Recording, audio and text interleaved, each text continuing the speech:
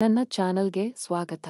ಇಂದು ನಾನು ನಿಮಗೆ ದೊಡ್ಡ ಮೆಣಸಿನಕಾಯಿಯ ಕಟ್ಲೆಟ್ ಮಾಡುವುದು ಹೇಗೆ ಎಂದು ತೋರಿಸಲಿದ್ದೇನೆ. ಬೇಕಾಗಿರುವ ಪದಾರ್ಥಗಳು. ಜೀರಿಗೆ, ಮೆಣಸು, ಧನಿಯಾ, ಹುಣಸೆ ಹಣ್ಣು ಕಡಲೆ ಹಿಟ್ಟು ಹಸಿರು ಮೆಣಸಿನಕಾಯಿ, ಈರುಳ್ಳಿ, ಅರಿಶಿನ ಪುಡಿ ಕಡಲೆ ಹಿಟ್ಟು ಮೆಣಸಿನಕಾಯಿ, ಈರುಳ್ಳಿ, ತುಪ್ಪದ ಗಸಿ.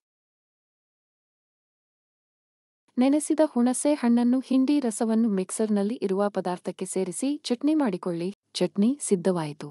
ನಂತರ ತವವನ್ನು ಬಿಸಿ ಮಾಡಿ ಉರಿಯನ್ನು ಸಣ್ಣಗೆ ಮಾಡಿಕೊಂಡು ತೋರಿಸಿರುವಂತೆ ಗುಂಡೆಗೆ ಕತ್ತರಿಸಿದ ದೊಡ್ಡ ಮೆಣಸಿನಕಾಯಿಯ ರಿಂಗ್ಸ್ ಅನ್ನು ಇಟ್ಟು ಅದರೊಳಗೆ ಚಟ್ನಿಯನ್ನು ತುಂಬಿಸಿ ನಂತರ ಉರಿಯನ್ನು ಹೆಚ್ಚಿಸಿ ಹಂಗೆ ಎಣ್ಣೆ ಹಾಕಿ ಬೇಯಿಸಿ.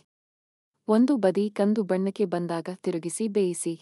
ಎರಡು ಬದಿಗಳು ಚೆನ್ನಾಗಿ ಬೆಂದ ನಂತರ ಸವಿಯಲು ಸಿದ್ಧವಾಗುತ್ತವೆ. ನೀವು ಇದನ್ನು ಬೇಕಾದರೆ ಟೊಮೆಟೊ ಸಾಸ್ನಲ್ಲಿ ನೆಂಚಿಕೊಂಡು ತಿನ್ನಬಹುದು.